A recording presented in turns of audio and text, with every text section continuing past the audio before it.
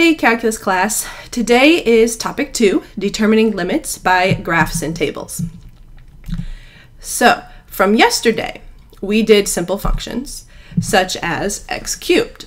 How would you find the limit as x approaches 3 of f of x, given from what you know from yesterday? Go ahead and pause the video and jot down what you're thinking. Okay, so you should have said something like, as we approach x equals 3 from the left and the right, you should notice from the graph that the function is approaching the same y values. And you should have noticed that if you were to sketch the graph of x cubed, the function is approaching 27. Now, with today's lesson, what about a more complicated function, such as the following? How would we calculate this limit. So I want you to pause the video and explain how you would calculate this limit with the current knowledge you have about limits. Okay, so think about a graph. Could you, if you were to graph this function, determine the limit? Why or why not?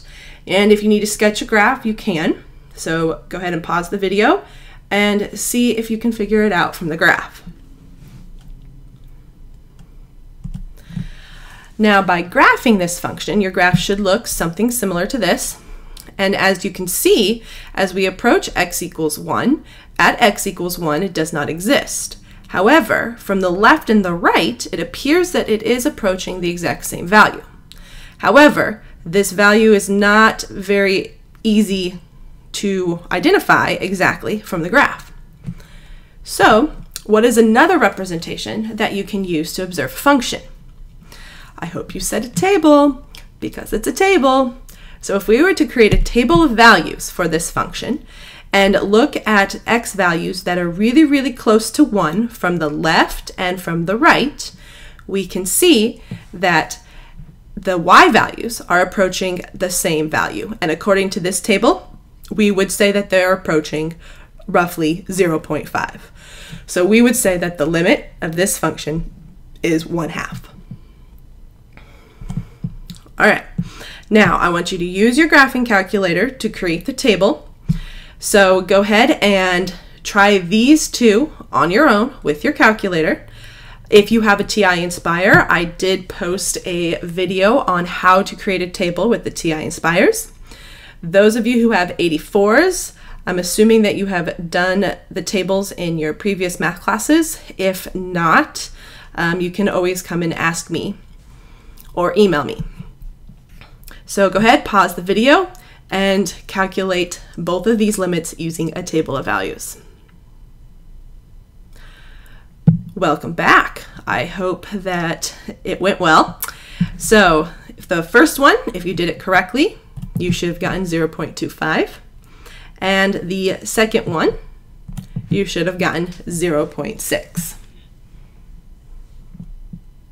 Now remember, if you have any questions, go to Edmodo and post your questions. Hopefully other students or myself can answer your questions. All right, now we're going into how to calculate infinite limits. So in order to calculate an infinite limit, you want to find both the left and right hand limits to determine whether the limit is infinitely positive or infinitely negative. When finding a one-sided infinite limit, only find that side. All right, so we're going to go through an example. All right, so we are going to calculate this limit as x approaches 0 of this fu function. Now I have already given you the graph and the table to help us determine that limit. So you need to do both the left hand and the right hand. So if we were to look at the graph for the left-handed, as we're approaching x equals 0 from the left, you should see that the function is getting increasingly, increasingly larger towards the negatives. And from the right-hand side, as we're approaching zero, you should see that the graph is getting also increasingly large in the negative side. So yes, if you said that the limits on the left and the limit on the right were both negative infinity, you would be correct. Now, by looking at the graph or the table, you'll see that as we're getting closer and closer to zero on the left hand side, we have a very, very large negative number.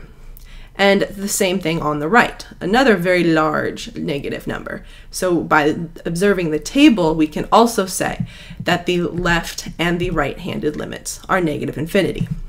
Well, since both the left and the right are the same, we can say that the limit as x approaches zero is also negative infinity.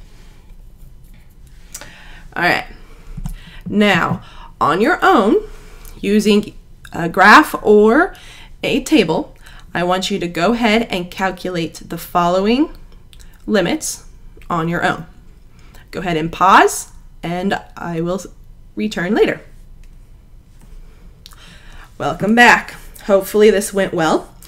All right, so with the first one, hopefully from the graph or the table, you should have gotten negative infinity as x approaches 5 from the left. Notice that it's only the left-hand side, so you don't have to worry about the right. Now we're doing secant as x approaches pi over 2 from the right-hand side. You should have also gotten negative infinity. Now that's just a fluke that these both examples were negative infinity. So sometimes they will be positive infinity. All right, now the big question is the secant from x approaches pi over 2. So that means you have to do both the right and the left. Well, if you look at the table of secant as x is approaching pi over 2, we know that secant is undefined at pi over 2. So that means if we were to look from the left, you should see that from the left, the function's getting infinitely bigger on the positive side.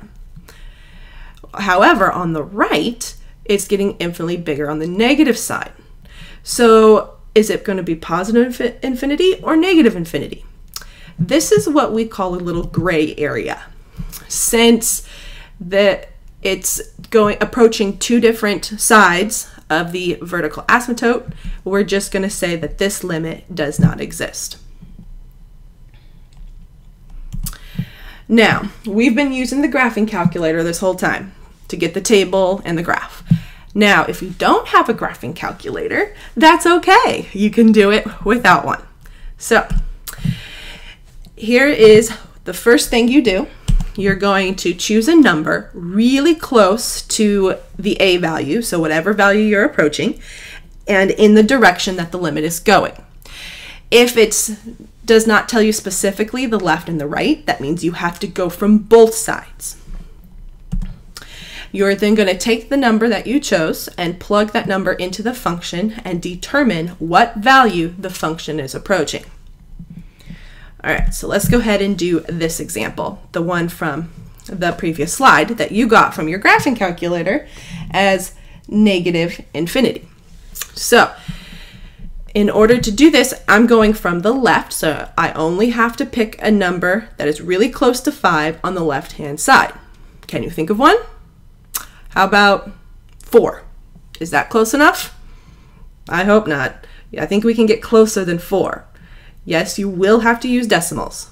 So I would probably choose 4.99. So I'm going to take that 4.99 and I'm going to plug it into the function where x is, do some lovely little simplification uh, to get negative 600. Now, some people are satisfied, yes, that's big enough for me to say that the limit is approaching negative infinity. However, some people are not always convinced. So if you're not convinced, then you can pick a number even closer to 5 than 4.99. How about 4.999?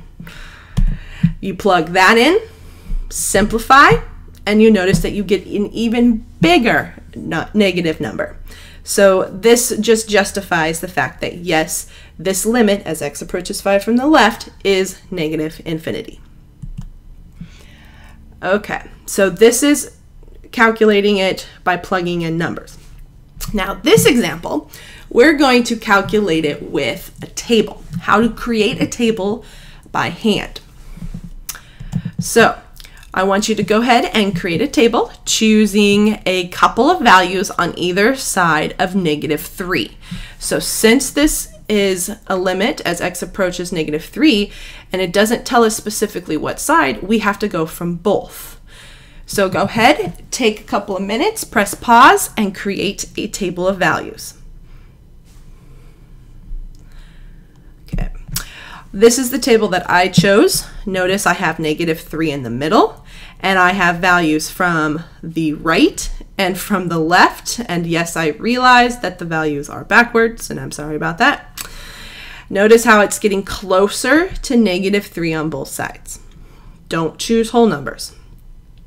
Now you're going to take each one of these x values and you're going to plug each of them in to this function to see what numbers you get. Hopefully, the y values from the right and the left are approaching the same value. So go ahead, press pause, take a couple of minutes, and complete the table. All right, I am not going to give you the answer quite yet. Uh, we will go ahead and check your answers in class tomorrow. I hope you enjoyed today, and I will see you guys tomorrow.